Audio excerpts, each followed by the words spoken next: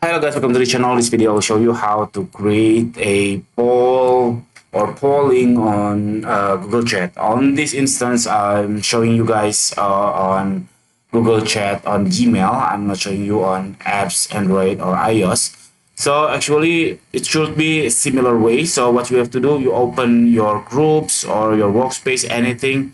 Uh, for this instance, I will open with my friend here and then I click this plus icon and then you click these few more apps for chat.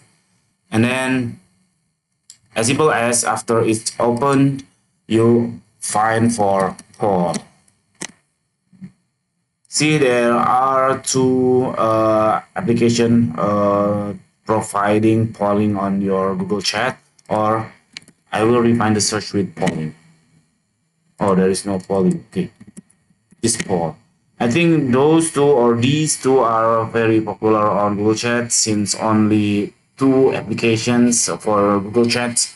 And then as you can see, the installed uh, these apps is about 1 million or I mean 750k and then about 300k. So for instance, I will open this absolute poll and then you just as simple as install and then you follow uh, the follow instruction from this application and then that's it. You already give, or oh, you already have your poll on your Google Chat. Thank you for watching guys. If you think this content is helpful for you, please subscribe our channel. Thank you for watching. Bye.